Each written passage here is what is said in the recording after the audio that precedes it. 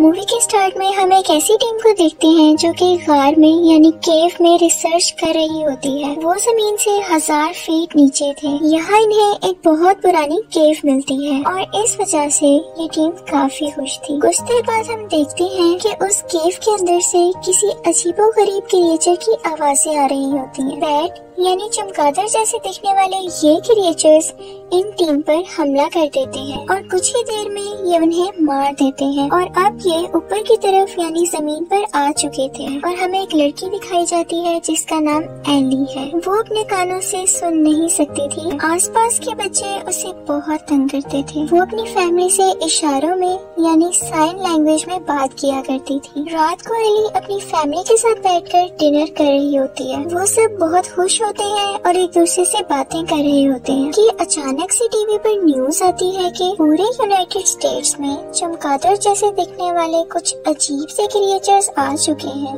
ये सब कुछ डिस्ट्रॉय कर रहे हैं और इंसानों को मारकर खा रहे हैं। टीवी पर खुद को सेफ़ रखने के तरीके भी बताए जा रहे होते हैं कि इनसे बचने के लिए खुद को घर में लॉक करना पड़ेगा और बिल्कुल खामोशी से बैठना पड़ेगा, ताकि ये क्रिएचर किसी की आवाज़ ना सुने। ये सुनकर वो सब घबरा जाते हैं। एली कहती है कि उनका शहर बहुत ज़्यादा नोइसी है। यानी उनके शहर में तो बहुत ज़्यादा शोर है। तो इस तरह से उनका बचना मुश्किल हो जाएगा। तो क्यों न हम कंट्री साइड पर जाके रहें, जहाँ पर बिल्कुल खामोशी हो। ये सब यहाँ से जाने की तैयारी करते हैं। इनके साथ इनका नेबर ग्लैन भी आ जाता है। और रास्ते में उन क्रिएचर से बचने के लिए वो साथ गन भी रख लेता है। वो दोनों अपनी अपनी कार्स निकाल कर कंट्री साइड की तरफ़ जाने लगते हैं। रास्ते में एक अननोन इंसान इनकी कार के सामने आ जाता है और इन पर गन पॉइंट कर लेता है। वो इनसे गाड़ी छीनना चाह रहा होता है। ग्लेन इस आदमी को शूट कर देता है। और ये पूरी फैमिली यहाँ से आगे बढ़ती है। रास्ते में आगे काफ़ी ट्रैफ़िक होती है।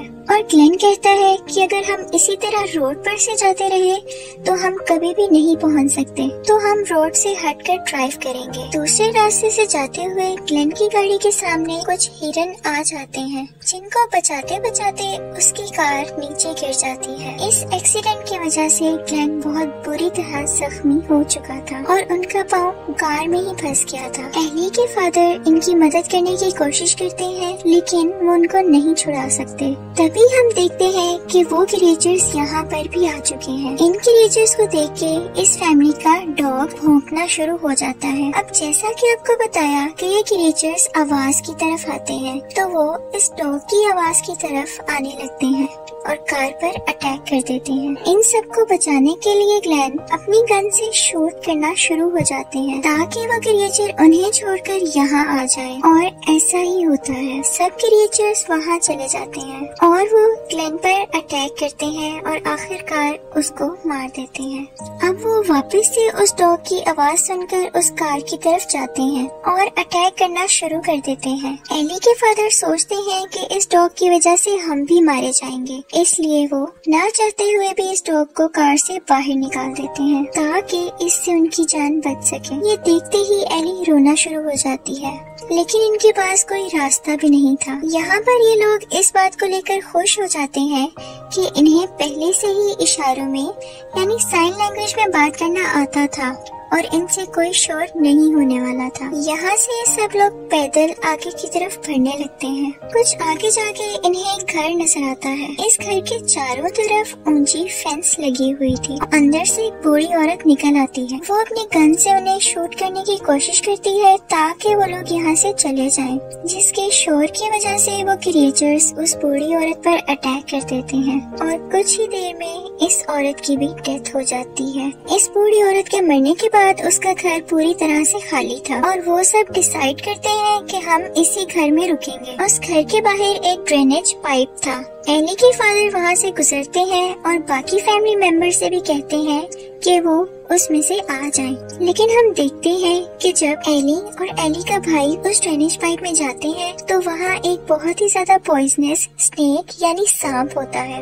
इस स्नेक की वजह से वो आगे नहीं जा सकते थे। स्नेक की हिसिंग यानी उसकी आवाज़ सुनकर वो क्रिएचर स्नेक को मार देता है। एली की मदर अभी ड्रेनेज पाइप में जा ही रही होती है कि उन क्रिएचर्स का ग्रुप उनकी टांग पर काट लेता है। यहाँ एली के फादर को एक आइडिया आता है। वो वुड चिपर मशीन मशीन को ऑन करते हैं और उसके ऑन होने के बाद उसकी आवाज़ से वो सारे क्रिएचर उसकी तरफ़ चले जाते हैं और वो सारी फैमिली फ़ौरन से ड्रेनेज पाइप को क्रॉस करके घर के अंदर चले जाते हैं। अंदर पहुँचने पर जब सब एली की मदर की टांग पर देखते हैं तो उन्हें पता चलता है कि उसकी टांग बहुत बुरी तरह इंजर्ड यानी जख्मी हो चुकी है, जिसकी वजह से उसकी बॉडी में इन्फेक्शन फैल रहा था। इसके लिए उन्हें एंटीबायोटिक चाहिए थी। एली और उसके फादर मेडिकल सप्लाई यानी एंटीबायोटिक की सर्च में बाहर जाते हैं। बाहर जाकर वो नोटिस करते हैं कि वहाँ पर कोई भी नहीं था। इवन कोई इंसान भी नहीं। हर जगह खामोशी थी। ये दोनों एक खाली मेडिकल स्टोर के अंदर जाते हैं और एंटीबायोटिक ढूँढने लगते हैं। उस मेडिकल स्टोर में बहुत सारे लोगों की डेड बॉडीज भी पड़ी हुई थी। एली देखती है कि वो क्रिएचर्स मरे हुए लोगों की डेड बॉडीज के अंदर अपने अंडे दे रहे हैं। और अंडे इतने ज़्यादा होते हैं, जिसकी वजह से क्रिएचर्स भरते ही जा रहे हैं। यहाँ एली डर के मारे चिल्ला देती है, जिसकी वजह से क्रिएचर्स इस स्टोर के अंदर भी आ जाते हैं। एली के फादर किसी तरह फायर अलार्म ऑन कर देते हैं और हर जगह पानी फैलने लगता है। तो इसी बात का फ़ायदा उठाकर वो दोनों स्टोर से बाहर आ जाते हैं। जैसे ही वो लोग स्टोर से बाहर आते हैं तो वो एक अजीब से प्रीस्ट को देखते हैं। वो प्रीस्ट इन दोनों से कहता है कि तुम मेरे ग्रुप का हिस्सा बन जाओ, यानी मुझे ज्वाइन कर लो। लेकिन एली के फादर उसको मना कर देते हैं। हमें दिखाया जाता है कि उस प्रीस्ट की ज़ुबान कटी हुई थी और वो दिखने में बहुत अजीब था। कुछ ही देर में एली और एली के फादर घर पहुँच जाते हैं और एली के मदर को एंटीबायोटिक्स देते हैं, जिसकी वजह से वो बेटर फील करती हैं।